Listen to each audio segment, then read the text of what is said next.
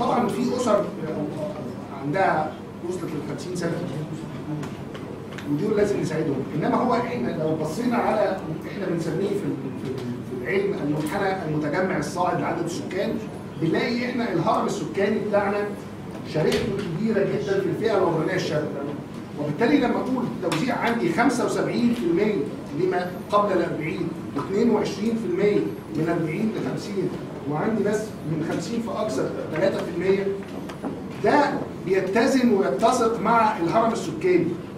لو إحنا حاولنا نتدخل عشان نتيح أكبر لفئة معينة هيبقى ده تدخل في غير النورم أو في غير الحاله اللي بيتوزع فيها السكان عشان كده أنا بقول لحضرتك لما قسنا معدل الاستهداف وقسنا العدد اللي خد في الشريحة دي والعدد اللي خد في الشريحة دي ال 75 وال 22 لأن ده بيتماثل فعلا مع الهرم السكاني وتوزيع السكان.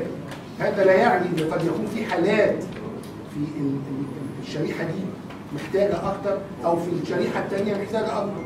وبالتالي هي المرونة هنا بقى في استجابة لبعض الحالات الطارئة ودي بتؤخذ في عين الاعتبار في لجان بتدرس بعض الحالات اللي هي خصوصية.